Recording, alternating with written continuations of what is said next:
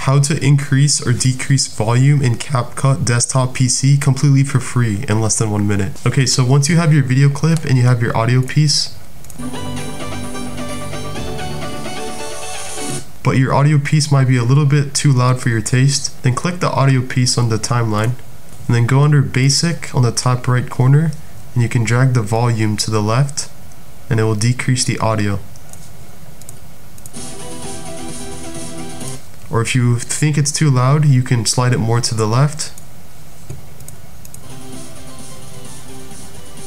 Another option that you can do besides this is this option right here called loudness normalization under the same tab of audio and basic. So click loudness normalization.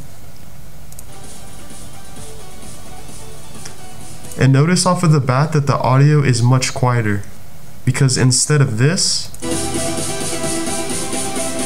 See how the audio is peaking when you click loudness normalization?